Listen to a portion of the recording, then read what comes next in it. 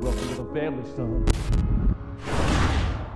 What's up, Zombs? According to a tip from a reader of the awesome blog Rely on Horror, the Resident Evil 7 Collector's Edition image that has been making its way around the internet may be coming to North America.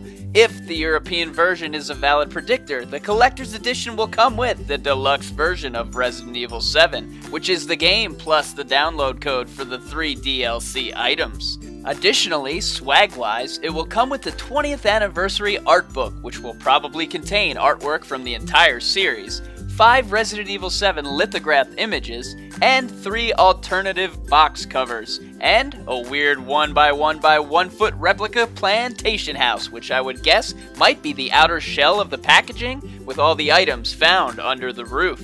Oh, and remember when literally all of us predicted there would be a dummy finger? Well, there is one, and it's a USB drive, not a bottle opener, so only 50% of you were completely right.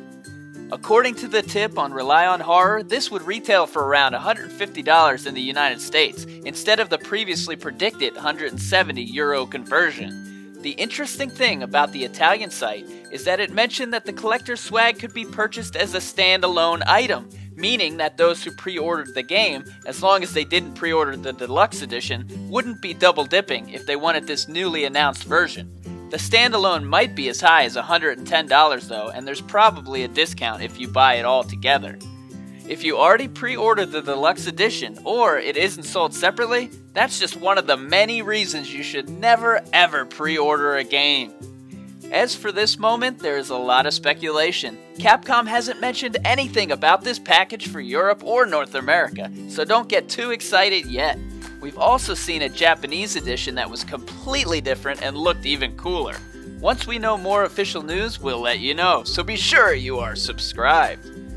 Crimson Army. How many of you would pay the big bucks for this package?